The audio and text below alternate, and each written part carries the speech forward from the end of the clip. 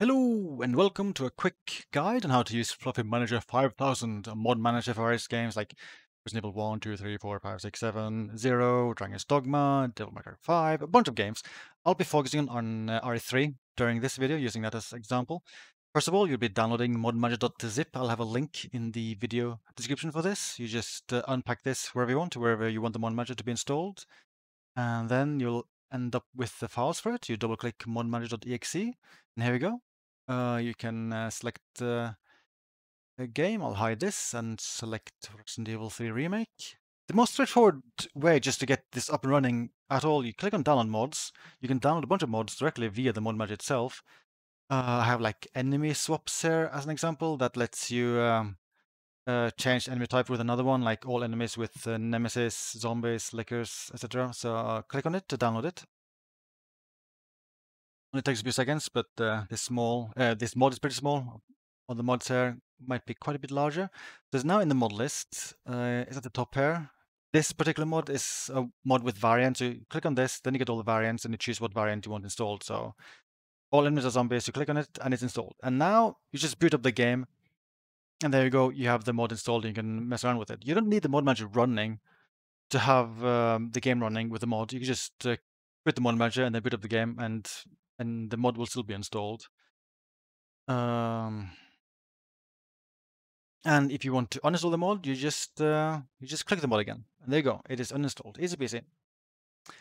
So of course, a lot of mods you'll get from other places. For instance, there are two links here to do two good um, resources with more mods. Let's say you downloaded Jill replaced with lady.rar. Just drag and drop this onto the mod manager window. Make sure to have the correct game uh, game selected when you do this. And there you go. It is now in the list and you can uh, install that. Easy peasy. If you want even more control over what uh, mods are in the mod manager, you click on options, open mods folder, and this uh, shows every single mod which is in the mod manager itself, and you can like uh, move these back and forth, you can delete them, whatever. Uh, you can also delete some mods via the mod manager itself if you highlight a mod and then click on the red bin icon. This only works with mods which are are in a container format like uh, RAR or pack.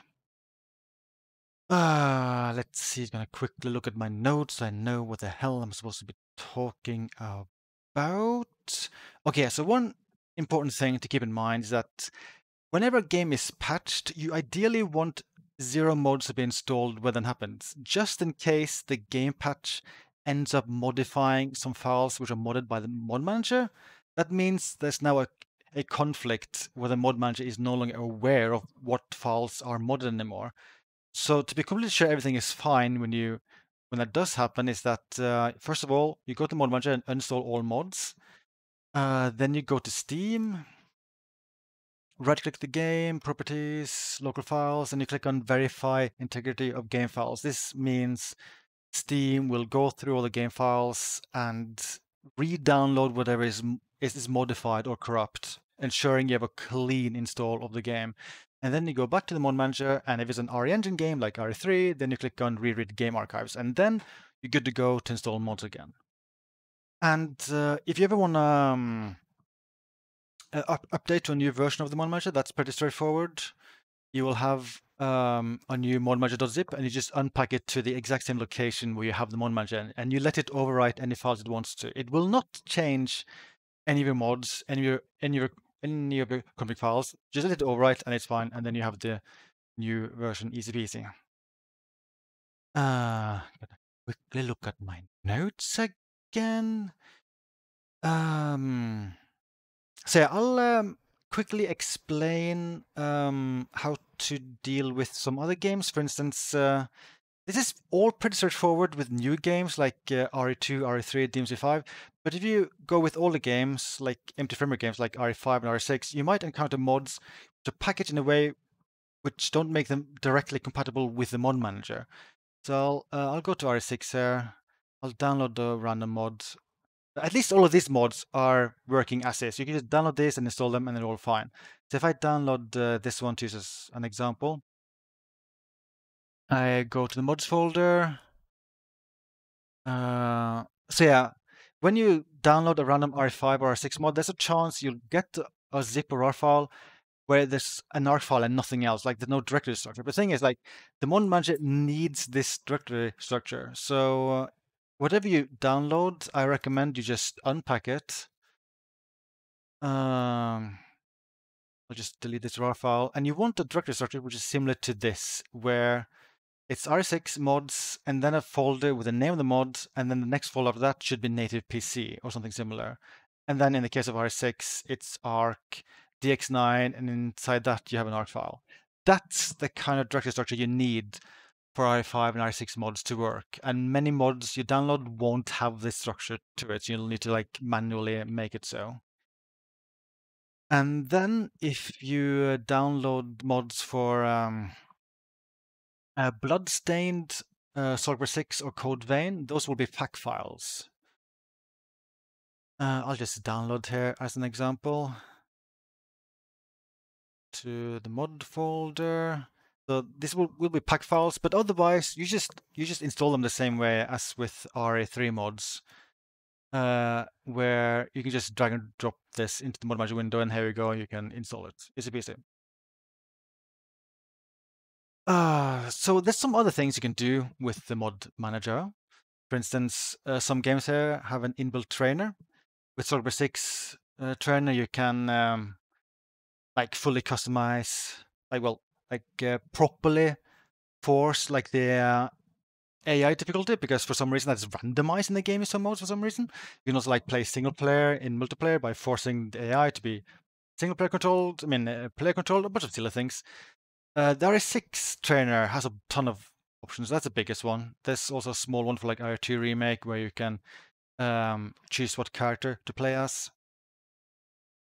Uh, and then besides trainers with MT Framework games, most of them, you have a silly little jukebox where you can like listen to music.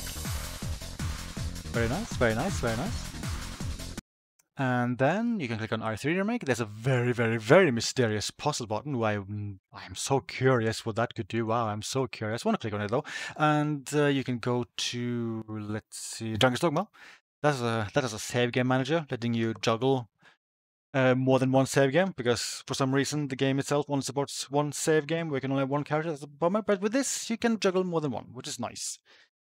And I think that's a quick rundown of basically everything you can do in the mod manager. If you like the mod manager and you, if you're stinking rich, I think I would recommend you maybe press this support for the button and maybe go to my Patreon. Actually, even if you're not stinking rich, I recommend you go here anyway because my Patreon is the primary place where I uh, release detailed info about all the mods I release and updates my modding tools. And all those posts posts are free. So you don't have to throw money my way to see all those updates. Um, I should also quickly mention uh, that uh, the Mod Manager is a so-called portable program, which means that everything it saves, it saves in its own directory. So if you want to move it to another PC, you can do that by just moving over the directory. You should definitely uninstall mods before you do that, but otherwise it's it's that easy. It also means that if you want to uninstall it, you just delete the folders in, and, and there you go. Easy peasy. To make one final note, look at my notes, make sure I've mentioned everything I want to mention in this guide. I think I have done so. Blah, blah, blah, blah, blah, blah, blah, blah. Yeah. Yeah, oh yeah, um, if you have trouble with the Mod Manager, if something doesn't work as intended, I recommend uh, that you, well, you can just write a message almost wherever, I guess, like YouTube comment section for this video, on my Patreon, something like that will work.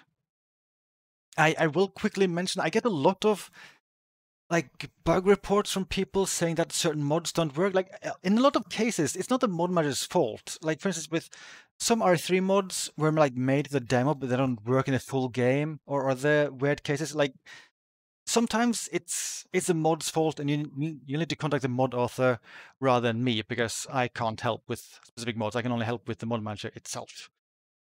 And with that, I think that's a pretty quick, good rundown of how to fiddle around with the mod manager. So bye bye for now.